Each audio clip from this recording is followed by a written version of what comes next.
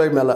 ಹಿಂದಿನ ಒಂದು ಕೇಸ್, ಎರಡು ಸಾವಿರದ ಇಪ್ಪತ್ತರ ಹಿಂದೆ ಅದು ತೊಗೊಂಡು ಹನ್ನೆರಡು ಕೋಟಿ ರೂಪಾಯಿ ಲಂಚ ತೊಗೊಂಡ್ರು ಅನ್ನೋ ಕೇಸನ್ನು ಹಾಕಿದ್ದಾರೆ. ಅಂದರೆ ಆದಷ್ಟು ಯಡಿಯೂರಪ್ಪನವರು ಸಹ ಇದೆಲ್ಲ ಹಣಿಬೇಕಂತೇಳಿ ಕಾಂಗ್ರೆಸ್ಗರು ಯಡಿಯೂರಪ್ಪನೊಬ್ಬರು ಹಣದ ಬಿಟ್ಟರೆ ನಮ್ಮ ಇಲ್ಲಿ ನಮ್ಮ ವಿರೋಧನೇ ಇಲ್ಲ ಬಿ ಜೆ ಪಿಯಲ್ಲೇ ನಾವು ಎಲ್ಲರನ್ನೂ ಮುಗಿಸ್ತೀವಿ ಅನ್ನೋದ ವಿಚಾರ ಸಿದ್ದರಾಮಯ್ಯ ಮತ್ತು ಕಾಂಗ್ರೆಸ್ನಿಂದ ಹೀಗಾಗಿ ಯಡಿಯೂರಪ್ಪನವರು ಟಾರ್ಗೆಟ್ ಮಾಡ್ತಾ ಇದ್ದಾರೆ. ಆದರೆ ಇವ್ರಿಗೆ ಯತ್ನಾಳ್ರಿಗೂ ಇದೇ ಬೇಕಾಗ್ಯದ.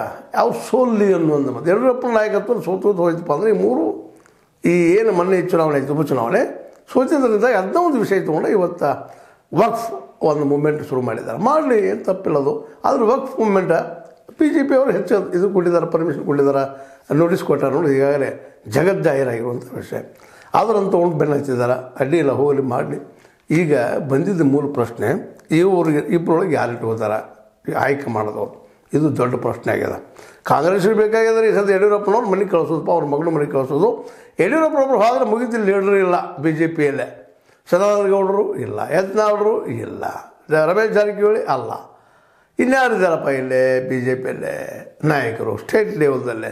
ಅವ್ರವ್ರು ಏನಾದರೂ ಈಗ ಹಲವು ಚರ್ಚೆ ಮಾಡಿದ್ವಿ. ಅವರು ಏರಿಯಾದಲ್ಲಿ ಅವ್ರು ಸ್ಟ್ರಾಂಗ್ ಇದ್ದಾರಿಲ್ಲ ಅಂತಲ್ಲ. ಅವರ ಎಂ ಎಲ್ ಎ ಏರಿಯಾದಲ್ಲಿ ಅವರು ಹುಲಿನ. ಆದರೆ ರಾಜ್ಯ ಮಟ್ಟದಲ್ಲ ಈ ಯಡಿಯೂರಪ್ಪ ಅನ್ನುತ್ತಿರುವ ಹುಲಿಯ ಸಮಾನವಾಗಿ ನಿಲ್ಲುವಂಥ ಬಿ ಜೆ ಪಿಯಲ್ಲಿ ಯಾರಿದ್ದಾರೆ? ಇದು ಗೊತ್ತಿದ್ದ ಅವ್ರ ಮೇಲೆ ಇನ್ನಷ್ಟು ಭ್ರಷ್ಟಾಚಾರದ ಆರೋಪಗಳು ಬರುವಂಗೆ. ಅದು ಮಾಡಿದ್ದಾರೆ ಇಲ್ಲಂತೂ ಅಲ್ಲ, ಹೊರಸ್ತಾವಂಗ ನೋಡಿದಾಗ. ಈಗ ಜರಿಗೆ ಹೋಗಿ ಬಂದಿದ್ದಾರೆ ಸುಮ್ಮನೆ ಹೋಗ್ಲಿಕ್ಕೆ ಆಗುವುದಿಲ್ಲ. ಆದರೂ ಹೋಗಿದ್ದಾರೆ, ಅವ್ರನ್ನ ಆರೋಪದ ಪೋಕ್ಸು ಕೇಸು ಒಂದದ ಅದನ್ನು ಸ್ವಲ್ಪ ದೂಡೋದು ಮಾಡಿ ಯಡಿಯೂರಪ್ಪ ಹಣಿ ಕೆಲಸವನ್ನು ಏಕಕಾಲಕ್ಕೆ ಒಂದು ಕಡೆ ಯತ್ನಾಳ್ ಮಾಡ್ತಾ ಇದ್ದಾರೆ, ಇನ್ನೊಂದು ಕಡೆ ಸಿದ್ದರಾಮಯ್ಯ ಮಾಡ್ತಾ ಇದ್ದಾರೆ. ಅದಕ್ಕಾಗಿ ಈ ನಮ್ಮ ಯಡಿಯೂರಪ್ಪನವರ ಜನ ಏನಂತ ಇದ್ದಾರೆ ಅಂದ್ರೆ, ಇವರ ಸಿದ್ದರಾಮಯ್ಯರ ಏನಪ್ಪ ಅಂದ್ರೆ ಒಂದು ಪಕ್ಷದಲ್ಲಿದ್ದಂಗೆ ಇದ್ದಾರಪ್ಪ. ಅವ್ರ ಮನುಷ್ಯರು ಇವರು ಅಂತೇಳಿ ಮಾತು ಮಾತಾಡ್ತಾ ಇಲ್ಲ. ಸಿದ್ದರಾಮಯ್ಯ ಮನುಷ್ಯರಪ್ಪ ಇವರು, ಯತ್ನಾಳರು. ಕಾಂಗ್ರೆಸ್ಗೆ ಹೋಗ್ತಾರೆ ಇವರು ನಾಳೆ ಅನ್ನೋಂಗೆ ಹುಯಿಲೆಬ್ಬಿಸ್ತಾ ಇದ್ದಾರೆ.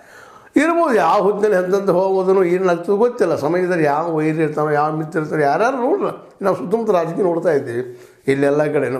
ಹಾಂ? ಕೆಲವು ಕಡೆ ಅಂತ ಬಿ ಜೆ ಪಿ ಕಾಂಗ್ರೆಸ್ ಕೂಡ ಗೌರ್ಮೆಂಟ್ ಮಾಡ್ತಾರೆ. ಮತ್ತೊಂದೇನೋ ಮಾಡ್ತಾರೆ. ಅಲ್ಲಿ ಅವ್ರು ಇಲ್ಲಿ ಬರೋದು, ಇಲ್ಲಿ ಅಲ್ಲಿ ಹೋಗ್ತಾರೆ. ಹೀಗಾಗಿ ಇವತ್ತು ಯಾರನ್ನು ಯಾರು ನಂಬಿಸತೊಳಗಿಲ್ಲ ಅದೇನೋ ಆಗಲಿ, ಇವತ್ತು ಮಾತ್ರ ಯಡಿಯೂರಪ್ಪನವರು ಮತ್ತು ಬಿ ಎಲ್ ಸಂತೋಷ್ ನಡಕ್ಕೆ ಇದು ನೋಡೋದು ಅಂತೇಳಿ ಇನ್ನೊಂದು ಡೆವಲಪ್ಮೆಂಟ್ ಏನೋ ಆಗಿದೆ ಅಂತ